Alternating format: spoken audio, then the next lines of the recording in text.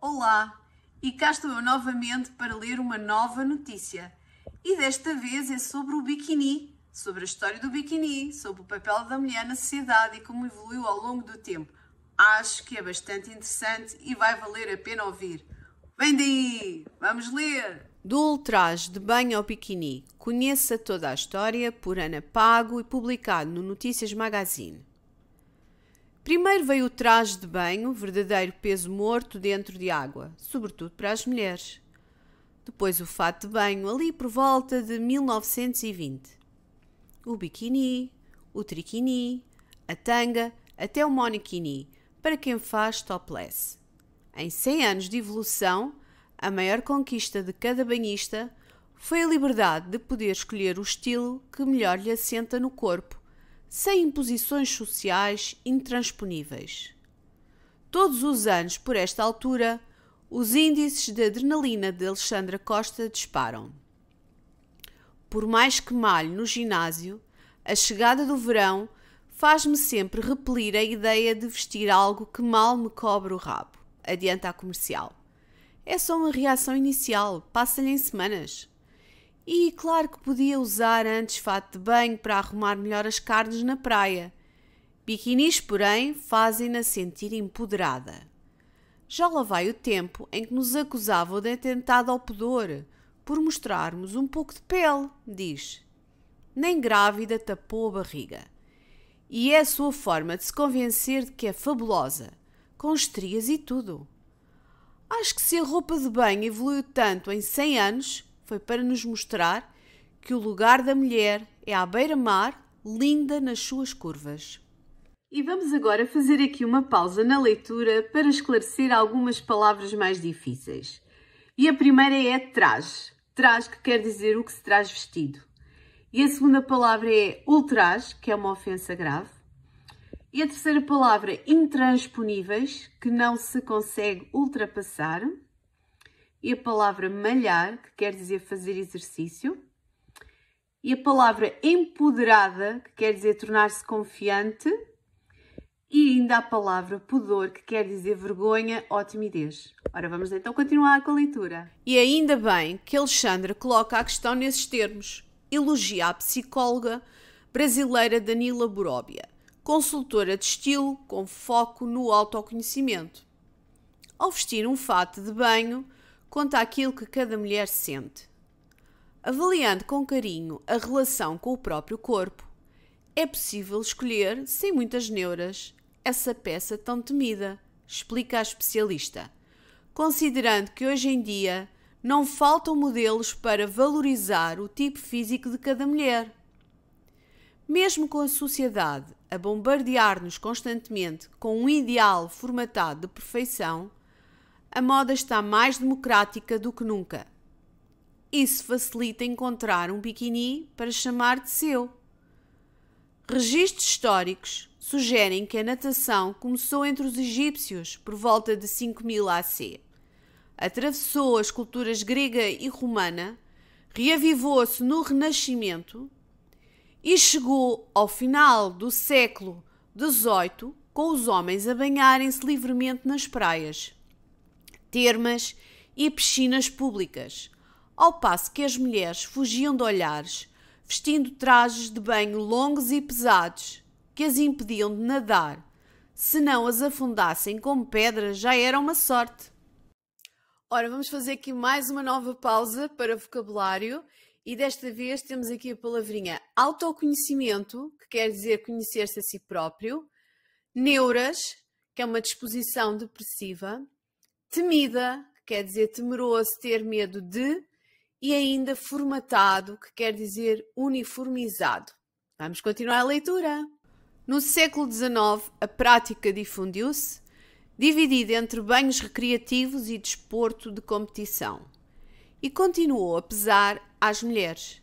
Nem podiam adotar os fatos de banho masculinos, mais práticos, nem nadar convenientemente com aqueles vestidos disformes a cobri-las da cabeça aos pés, cheios de folhos e adornos. O começo do século XX marcou o início da inovação nos fatos de banho. Pela primeira vez, desde a Roma Antiga, as mulheres vão voltar a mostrar os joelhos. Uma verdadeira revolução tendo em conta o conservadorismo da época.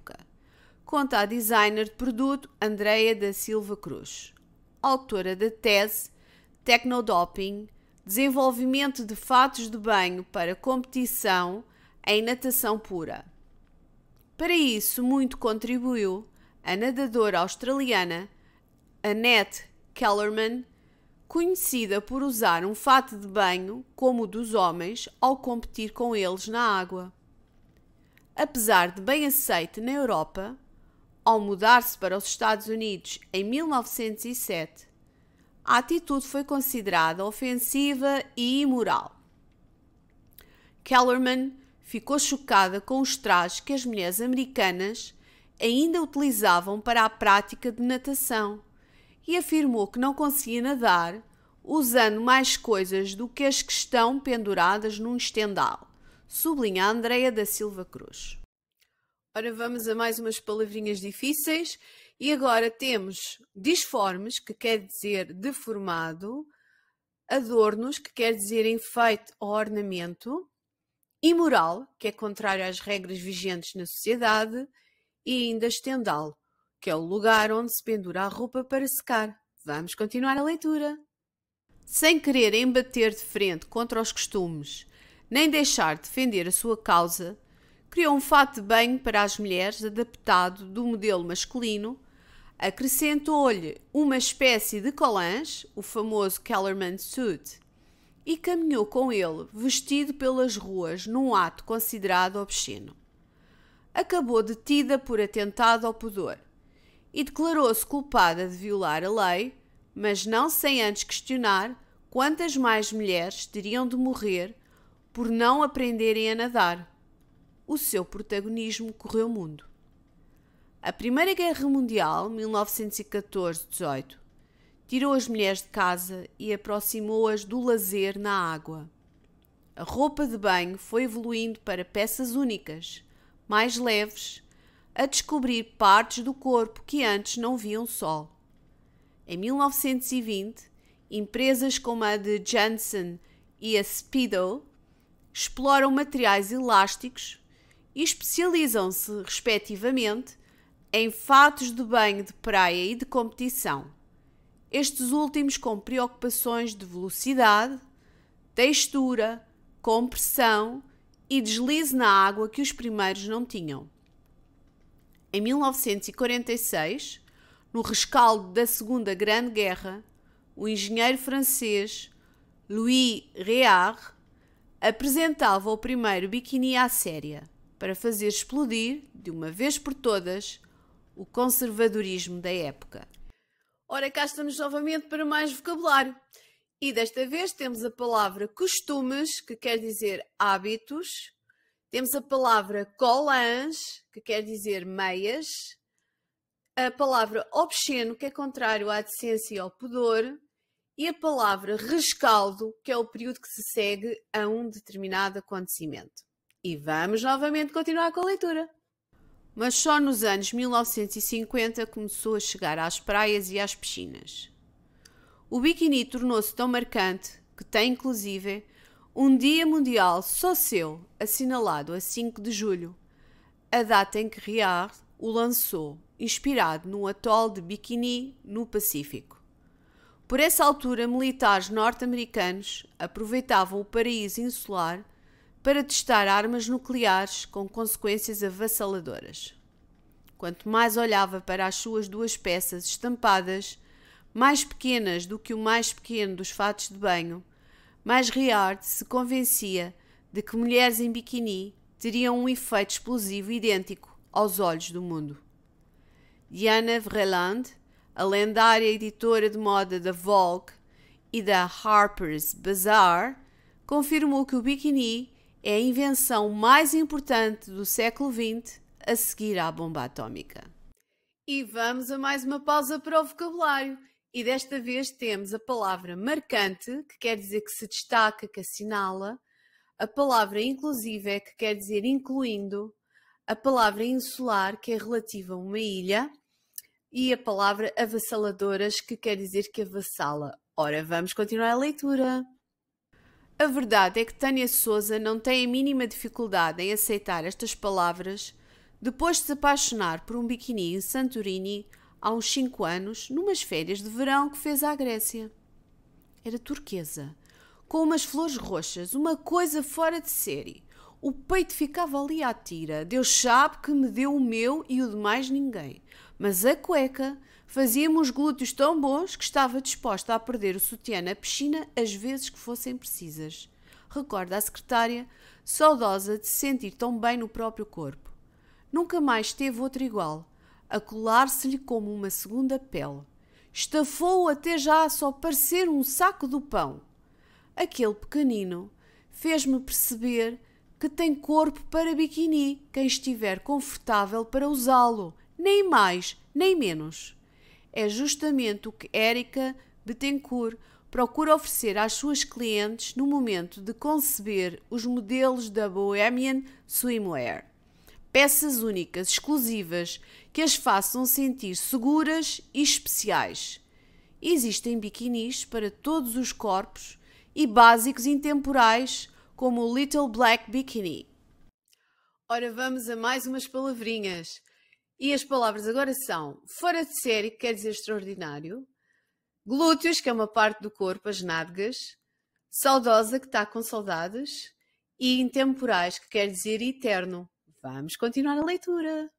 É uma questão de se conciliar o nosso estilo pessoal com a moda de um modo equilibrado, explica a designer gráfica influenciada por marcas brasileiras, australianas e havaianas, que foi conhecendo nas suas viagens em busca de ondas perfeitas para o surf.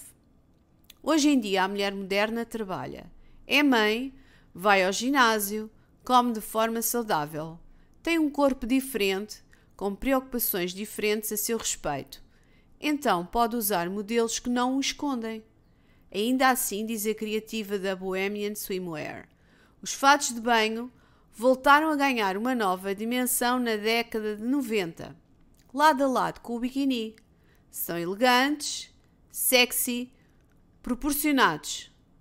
Tem alguns na nova coleção Life of Bohème, peças leves com a frescura do verão. Quem ainda pensa que são coisa do tempo das avós, basta pôr os olhos nas marcas portuguesas de Beachwear, Cante, Coração Bobo, Latitude, Papua, Hikena Bay, Mitik e tantas outras, para perceber a quantidade de histórias de sucesso nascidas nos últimos anos. O biquíni reflete a personalidade de quem o usa, valoriza a silhueta, traz confiança e autoestima, diz a psicóloga Danila Boróbia, para quem conforto é a soma de todos estes fatores. E mais uma pausa para o vocabulário, e desta vez temos conciliar, que quer dizer pôr de acordo, proporcionados, que quer dizer equilibrados, personalidade, que diz respeito à inteligência, ao caráter, ao temperamento de uma pessoa, e ainda a silhueta, que quer dizer o perfil de uma pessoa. Vamos continuar a leitura. E os homens onde ficam após terem tido sempre a vida facilitada no que toca a ir a banhos? São mais práticos, sem dúvida. Procuram peças com um corte e padrão giros, de boa qualidade para durarem anos, ao passo que elas privilegiam o design e a singularidade, resume Érica Betancourt.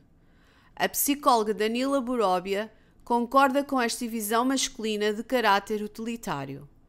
Regra geral, eles têm a autoestima mais inflada que as mulheres e tendem a não se incomodar tanto com questões de pormenor, pelo que se focam principalmente no conforto e na durabilidade.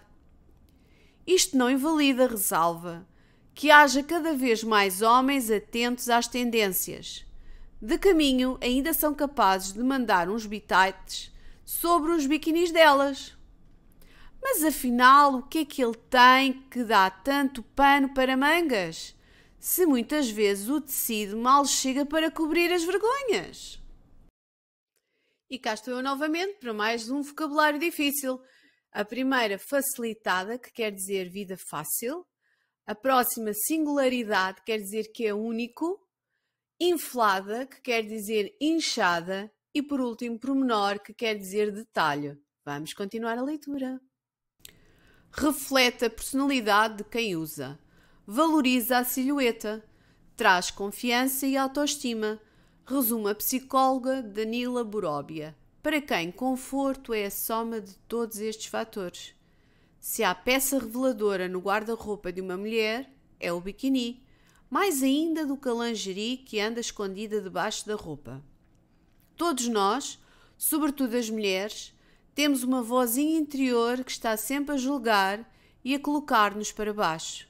Estamos muito gordos, muito magros, a ficar velhos, e isto quando o que é belo e perfeito varia de pessoa para pessoa, diz. Se houve coisa que o encolher do fato de banho nos ensinou nos últimos 100 anos, foi precisamente que cada ser humano é único notável nessa especificidade e tem um corpo perfeito tal como é. Ninguém precisa de ser um anjo da Victoria's Secret para se enfiar num biquíni.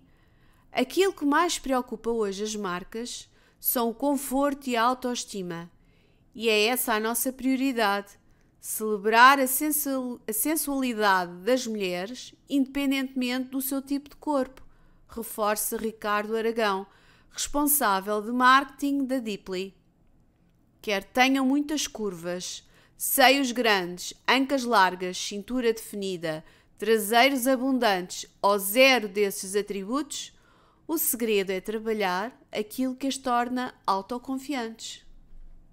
E cá voltamos ao vocabulário e desta vez temos a palavra autoestima, que é quando nós temos uma opinião favorável acerca de nós próprios. A palavra encolher, que quer dizer reduzir a palavra prioridade, que quer dizer precedência, e por fim, autoconfiante, ou seja, alguém que tem confiança. E vamos continuar a leitura. Bem vistas as coisas, o que faz um bom fato de banho é a pessoa que o usa. Uma bomba de mulher. Chamava-se Micheline Bernardini, tinha 18 anos e aceitou desfilar a reduzida criação do engenheiro Louis Réard sem saber bem o que esperava naquele 5 de julho de 1946, à beira da piscina Molitor, em Paris. A jovem dançarina não viu razão para não emprestar o corpo àquele biquíni de duas peças, mais pequeno do que o mais pequeno dos fatos de banho e até do que os biquinis usados desde os anos 1930, de cintura subida a tapar os umbigos. O acontecimento, contra a vontade dos mais conservadores, foi um sucesso. A imprensa internacional difundiu-o largamente. Nos dias seguintes a ter aparecido em público, com mais pernas do que roupa, Bernardini recebeu cerca de 50 mil cartas de admiradores rendidos à coragem com que rompeu a tradição. O biquíni só conseguiu conquistar o seu lugar nos armários a partir de meados dos anos 1950 mas naquele momento veio para ficar. Orem mais uma vez o vocabulário, agora com a palavra desfilar, que quer dizer marchar, a palavra difundir, que quer dizer divulgar, expandir, a palavra rendidos, que quer dizer vencidos, e por último, tradição, que é o conjunto de doutrinas e práticas que são transmitidas de geração em geração. Espero que tenham gostado desta leitura e até à próxima.